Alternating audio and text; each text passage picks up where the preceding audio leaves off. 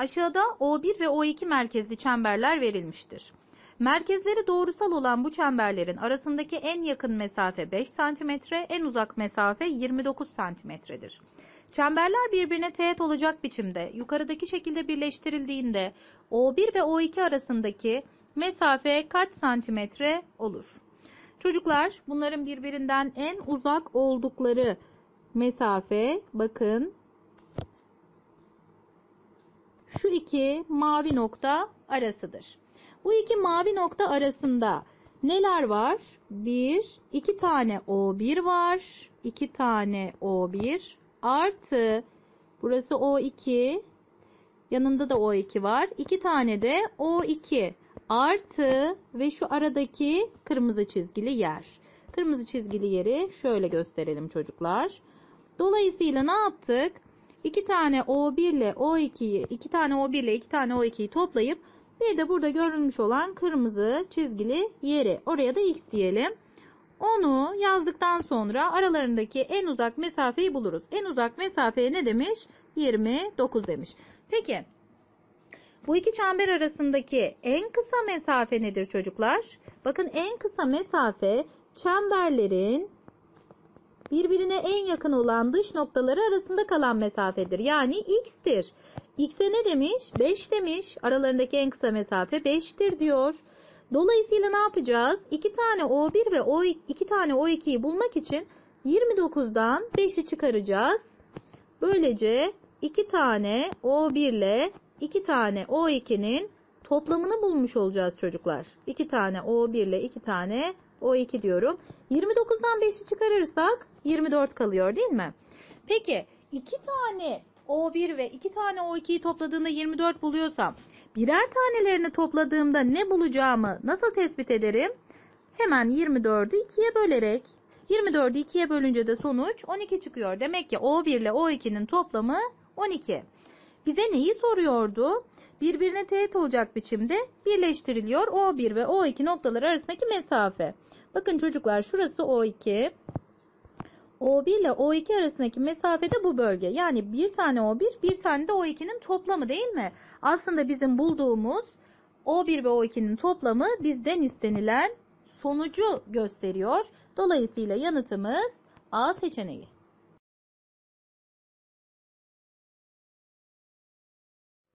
Aşağıdaki yürüyüş parkurunda OA AB'ye, AB BC'ye, BC ise 1 metreye eşittir. ABC noktaları bulundukları parkurun başlama ve bitiş noktasıdır.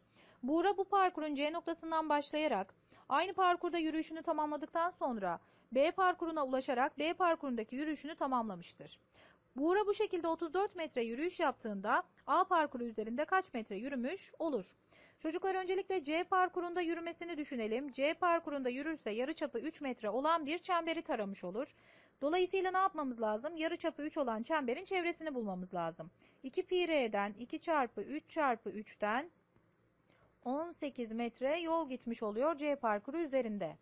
Sonra C parkuruna tekrar geliyor ve 1 metre yana kayarak B parkuruna giriyor. Dolayısıyla burada artı birimiz olacak. Bir artı bir olduğunu gösterelim. Ondan sonra B parkuruna girdik çocuklar. B parkuru da yarıçapı 2 metre olan bir çemberi gösteriyor. Dolayısıyla onun da çevresini bulalım. 2 kere 3 6, 6 kere 2 12 oldu.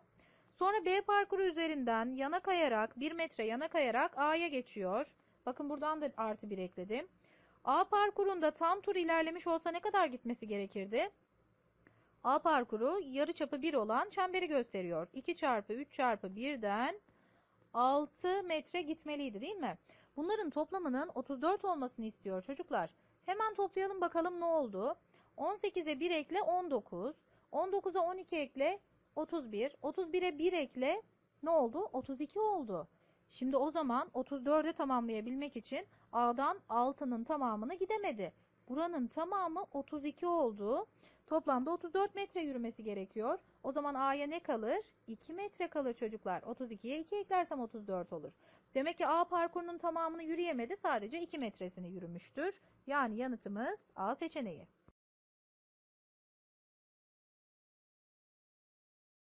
Elif ve Ayla farklı uzunluktaki ipleri bir direğe bağlayarak ip gergin olacak biçimde aynı noktadan başlayarak direğin etrafında aynı hızda yürüyerek dönüyorlar.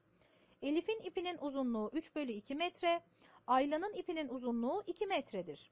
Buna göre Elif'in bir tam tur döndüğünde Ayla'nın başlangıç noktasına gelmesine kaç metre kalır?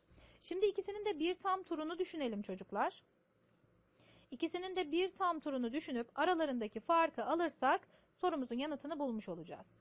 Elif'in ipinin uzunluğu 3 bölü 2 metreymiş. Yani yarı çaptan bahsediyoruz. 3 bölü 2 metre oluyor. Dolayısıyla 2 pi r'den 2 çarpı 3 çarpı 3 bölü 2'den Elif'in çevresini dolanmış olduğu çemberin çevreyi bulmuş oluyoruz. Dolayısıyla 2 ile 2'yi sadeleştirdim çocuklar. 3 ile 3 kaldı. 3 kere 3'ten Elif için biz çevresini 9 olarak bulduk. Dolaşmış olduğu çemberin. Şimdi bir de Ayla için bulalım. Ayla'nın ipinin uzunluğu 2 metreydi. Yani yarıçapı 2 olacak. 2 çarpı 3 çarpı 2'den 2 kere 3 6. 6 kere 2 12 metre olarak buldum. Ayla'nın etrafını dolaştığı çemberin çevresini. Dolayısıyla çocuklar ikisi arasındaki fark kadardır bizden istenilen kısım. 12'den 9'u çıkardığımda sonucu 3 buluyorum. Yani yanıtım C seçeneği. Bir çemberin çevre uzunluğunun bulunabilmesi için pi sayısı ile çap uzunluğu çarpılır. Selin kartondan hazırladığı yarıçap uzunlukları santimetre cinsinden farklı birer tam sayı olan daireleri aşağıdaki gibi keserek iki eş parçaya ayırmıştır. Daha sonra ayırdığı bu parçaları 20 santimetre uzunluğundaki eş çubuğa parçalar karşılıklı olacak şekilde aşağıdaki gibi yapıştırarak bir kelebek modeli yapmıştır. Buna göre Selin'in bu kelebek modelini yaparken kullandığı küçük dairenin uzunluğu en fazla kaç santimetredir? Çevre uzunluğundan bahsetmiş çocuklar. Biz küçük dairenin çapına A desek, büyük dairenin çapına B desek, A ile B'nin toplamını soru bize ne vermiş? 20 olarak vermiş. Dolayısıyla ikisinin çapları toplamı ne oldu? 20 olarak tespit edildi. O halde çocuklar birisi büyük birisi küçük dediğine göre bu 20 onar onar paylaştırılmayacak değil mi? Yani birine 10 diğerine 10 verirsen biri küçük biri büyük olmaz e, ikisi de eşit olur. Dolayısıyla en fazla nasıl paylaştırılabilir? Birine 9 derim, diğerine 11 diyebilirim. Ama bu durumda da yarı çapı bulmam zorlaşır. Buçuklu bir değer alır. Bana tam sayı soruyor. Dolayısıyla birine o zaman ne yapacağız? Birine 8, diğerine 12 vereceğiz.